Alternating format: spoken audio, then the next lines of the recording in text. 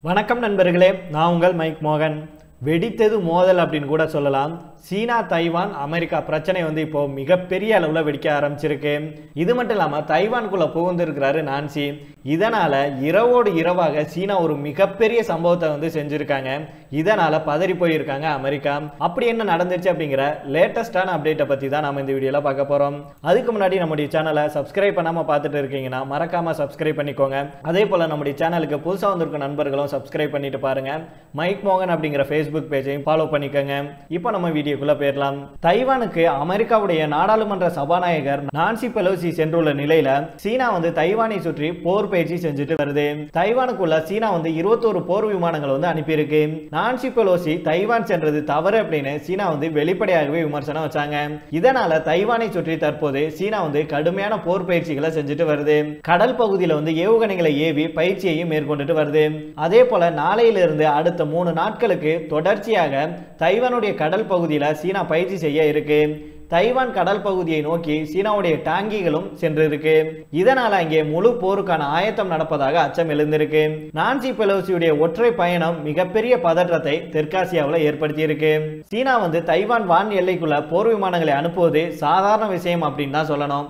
ஏன் அப்படின்னா ஏற்கனவே தைவான் வான் எல்லைக்குள்ள பல முறை சீனா வந்து விமானத்தை வந்து அனுப்பியிருக்கு.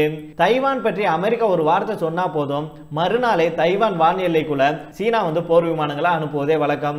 இப்போது நான்சி வந்து நேரடியாக தைவான் சென்ற கோபத்துல சீனா வந்து இருபத்தோரு போர் விமானங்களை அனுப்பியிருக்கு. இந்த நிலையில தான் தைவான்ல நான்சியுடைய செயல்பாடுகளையும் தைவான் படைகளுடைய செயல்பாடுகளையும் கண்காணிக்கும் விதமாக சீனா வந்து தன்னுடைய உளவு ட்ரோன் விமானங்களை வந்து அனுப்பியிருக்கு. சீனா சார்பாக இரட்டைவால் டிராகன் என அழைக்கப்படும் டென்ஸ்டன் டிபி நாட் நாட் ஒன் அப்படிங்கிற ட்ரோன் விமானம் தைவானுக்குள்ள களமிறக்கப்பட்டிருக்கு. தைவானுக்கு நான்சி வருகிறார் அப்படின்னு தெரிஞ்ச உடனேயே சீனா வந்து இந்த உளவு விமானத்தை உடனடியாக களமிறக்கியதாக சொல்லப்படுது. இது வந்து மூணு என்ஜின் இரண்டு வால் கொண்ட உளவு விமானம் அப்படின்னு சொல்லப்படுது. பாக்குறதுக்கு சின்னதா இருந்தாலுமே இந்த ட்ரோன் வந்து அதிக எடை கொண்ட குண்டுகளை சுமந்து சென்று தாக்கும் திறன் கொண்டது அப்படின்னு சொல்லியிருக்காங்க. ஜப்பானை வந்து இவ்வளவு நாட்களாக உளவு பார்த்து கொண்டிருந்த இந்த இரட்டைவால் டிராகன் தற்போது நான்சி மற்றும் தைவான் செயல்பாடுகளை கண்காணிக்க தைவான் சென்று இருக்கு நான்சி பயணத்தினால தைவான் நாடு எங்கே விடுதலைக்கு முயல்கிறதோ சீனாவுக்கு எதிராக போர் தொடுக்க தைவான் நினைக்கிறதோ அப்படிங்கிற கேள்வி இப்போ எழுந்திருக்கு. இதனால தைவான் படைகளுடைய மூவ்மெண்ட்டுகளை கண்காணிக்கும் விதமாகவும் நான்சியுடைய செயல்பாடுகளை கண்காணிக்கும் விதமாகவும் இந்த ட்ரோனை சீனா அனுப்பி இருக்காங்க தைவானை சுற்றி இருக்கும் அமெரிக்க போர்க்கப்பல்கள் தைவான் உள்ளே இருக்கும் அமெரிக்காவுடைய போர் விமானங்கள் ஆயுதங்கள் ஆகியவற்றை கண்காணிக்கும் விதமாக இந்த அதிநவீன உளவு விமானம் அனுப்பப்பட்டதாக சொல்லப்படுது. இது மட்டும் இல்லாம இந்த உளவு விமானத்துடைய இன்னொரு சிறப்பு என்னன்னா ரேடார்ல சிக்காம 200 கிலோ எடை கொண்ட குண்டுகளை எளிதாக சுமந்து சென்று தாக்கும் திறன் கொண்டதாகும் அப்படின்னு சொல்லியிருக்காங்க இந்த ட்ரோனை பத்தி. நான்சி பயணத்திற்கு எதிராக சீனாவுடைய இந்த மூவ் காரணமாக அமெரிக்கா வந்து பெரும் பதற்றத்துல இருக்கு. ஏன் அப்படின்னா தைவானை உலகின் பெரும்பாலான நாடுகள் தனி நாடாக அங்கீகரிக்கல. ஏன் அமெரிக்காவே பார்த்தோம் அப்படின்னா தைவானை ஒரு தனி நாடாக அங்கீகரிக்கல ஐநாவும் அங்கீகரிக்கல அப்படிங்கிறது குறிப்பிடத்தக்கது. அப்படி இருக்கும்போது நான்சியுடைய பயணம் காரணமாக சீனாவுக்கும் அமெரிக்காவுக்கும் இடையில மோதல் ஏற்படும் சூழல் ஏற்பட்டிருக்கு. நான்சி பயணத்திற்கு எதிராக சீனா இவ்வளவு கோபமாக வலுவாக ரியாக்ஷன் கொடுக்கும் அப்படின்னு அமெரிக்கா எதிர்பார்க்கல. இதை இப்ப எப்படி எதிர்கொள்வது அப்படின்னு தெரியாம கையெப்ப செய்யும் நிலைக்கு வந்து அமெரிக்கா தள்ளப்பட்டிருக்கு அப்படின்னு தான் சொல்லணும். இது மட்டும் இல்லாம இருபத்தஞ்சு ஆண்டுல இதுவே முதல் முறை அப்படின்னு சொல்லப்படுது. அதாவது சீனாவை வந்து சினம் கொள்ள வைத்த நான்சி அப்படின்னு சொல்லப்படுது.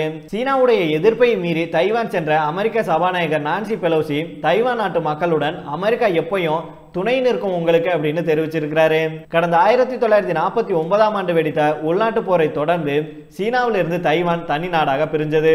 தைவான் வந்து சுயாதீனமாக செயல்பட்டு வந்தாலும் அதற்கு சீனா வந்து உரிமை கோரிட்டு வர்றாங்க. இந்த நிலையில தான் அமெரிக்க நாடாளுமன்ற சபாநாயகர் நான்சி பெலோசி அவர்கள் ஆசிய நாடுகளுக்கு சுற்றுப்பயணம் மேற்கொண்டிருக்கிறாரு. முதல் கட்டமாக பார்த்தோம் அப்படின்னா சிங்கப்பூருக்கு அவர் போயிருக்கிறாரு. அந்த நாட்டு பிரதமரை சந்திச்சு பேசியிருக்கிறாரு.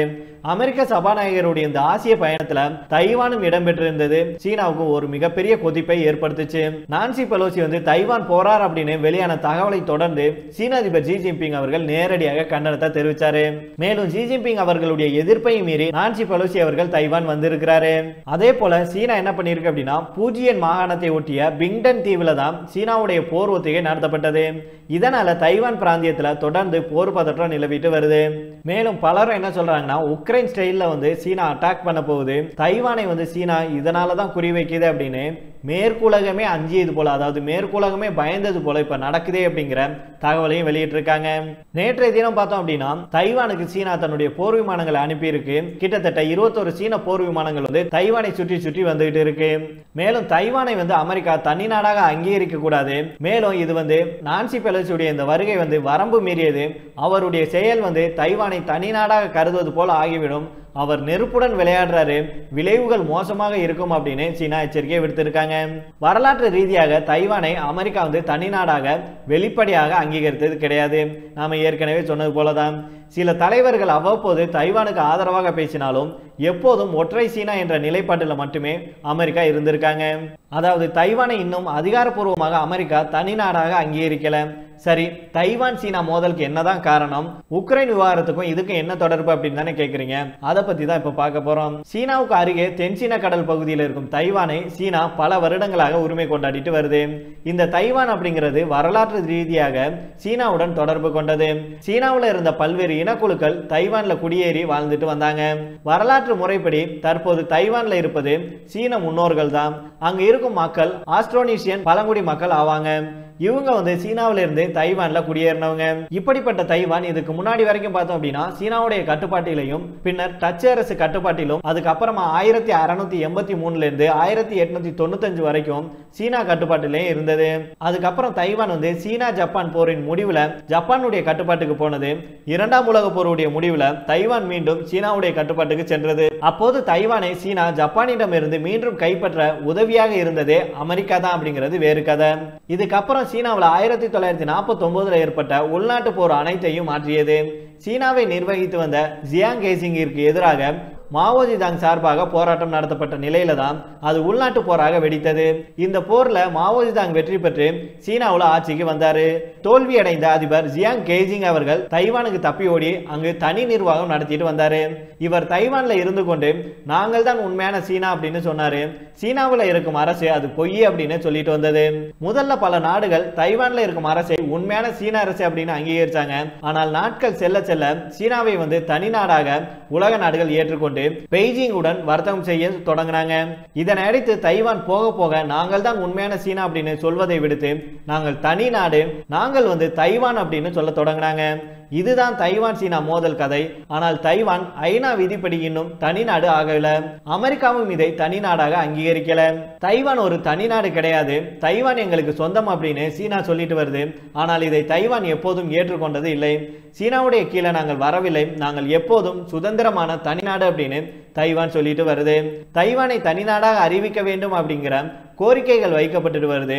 தற்போது உக்ரைன்ல ரஷ்யா படையெடுத்திருக்காங்க இல்லையா? இதுல ரஷ்யாவுக்கு எதிராக பொருளாதார தடைகள் விதிக்கப்பட்டாலும் ரஷ்யாவுக்கு எதிராக வேறு பெரிய நடவடிக்கை எதையும் மேற்குலகம் செய்ய முடியல. இதை பயன்படுத்தி கொண்டு ரஷ்யாவை போலவே சீனாவும் தைவான் மீது படையெடுக்கும் அப்படின்னு மேற்குலகமே அஞ்சினாங்க. உக்ரைனுக்கு எப்படி ரஷ்யாவோ அப்படித்தான் தைவானுக்கு சீனா. உக்ரைன் ரஷ்யா இரண்டும் சோவியத் யூனியன் காலத்திலிருந்தே ஒன்றாக இருந்த நாடுகள். சோவியத் யூனியன் உடைந்த போது உக்ரைன் வந்து தனி நாடாக பிரிஞ்சது. இந்த நிலையில சமீப நாட்கள்ல நேட்டோவுடனும் ஐரோப்பாவுடனும் உக்ரைன் வந்து நெருக்கம் காட்டி வந்ததுனால தான் பாதுகாப்பு கருதி ரஷ்யா வந்து உக்ரைன் மேல படையெடுத்து தாக்குதல் நடத்திட்டு வர்றாங்க. இதே விவகாரம் தான் தைவான்லையும் நடந்துட்டு வருது. தைவான் வந்து தனிநாடாக மாறுச்சுன்னா அது சீனாவுக்கு பாதுகாப்பு ரீதியாக சிக்கலு. உக்ரைன் வந்து நேட்டோவில் சேர்வது ரஷ்யாவுக்கு எப்படி சிக்கலோ அப்படிதான் தைவான் வந்து தனிநாடாக மாறினால் சீனாவுக்கும் சிக்கலு. ஏற்கனவே கடந்த பல மாதங்களாக பார்த்தோம் அப்படின்னா தைவானுடைய வான் எல்லைக்குள்ள தொடர்ந்து சீனாவுடைய போர் விமானங்கள் சென்று வருவது குறிப்பிடத்தக்கது. தற்போது உக்ரைன் போர் காரணமாக சீனா இன்னும் நம்பிக்கையுடன் தைவானை மொத்தமாக கைப்பற்றும் திட்டத்தில் இருக்கு. இதுல அமெரிக்கா வந்து இரண்டு விதமான நிலைப்பாட்டை எடுத்துட்டு இருக்க இருக்காங்க வரலாற்று ரீதியாக தைவானை அமெரிக்கா வந்து தனி நாடாக வெளிப்படையாக அங்கீகரித்தது கிடையாது.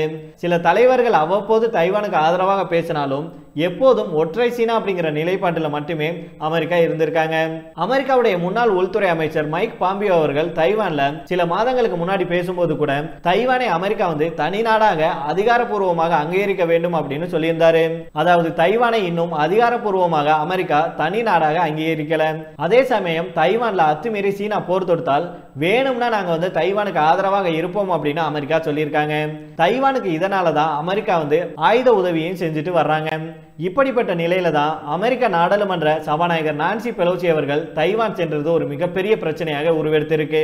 தைவானை அமெரிக்கா அங்கீகரித்தது போல இந்த பயணம் முடிந்துவிடும் அப்படின்னு சீனா வந்து இப்போ கடுமையாக எச்சரிக்கை விடுத்திருக்காங்க. மேலும் பல வாரம் தாக்குதல் நடத்தவும் திட்டமிட்டிருக்காங்க. தங்களுடைய படைகளை வந்து தயார் நிலையில இருக்கும்படியும் சீனா உத்தரவு போட்டிருக்கு. சீனாவுடைய இந்த அதிரடியான முடிவுனால இப்போ அமெரிக்காவும் பதற்றத்துல இருக்கு. உலக நாடுகளே வந்து அடுத்த போரா இன்னும் ரஷ்ய உக்ரைன் போரே முடிவடையல.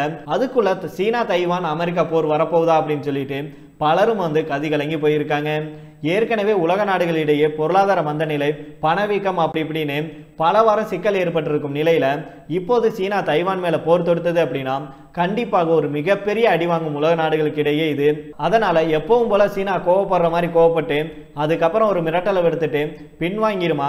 இல்லை இந்த முறை ஒரே முடிவாக தைவான் மேலே போர் தொடுக்குமா அப்படிங்கிறத நாம் இன்னும் சில மணி நேரங்களில் தெரிந்து கொள்ளலாம். சரி நண்பர்களை இதோட நாம் இந்த வீடியோ முடித்துக் கொள்ளலாம். இதை பற்றி உங்களுடைய கருத்துக்களையும் கீழே உள்ள கமெண்ட் பாக்ஸில் சொல்லுங்க. மீண்டும் நாளை வேறொரு செய்திகளுடன் உங்களை சந்திக்கிறேன். நன்றி வணக்கம்.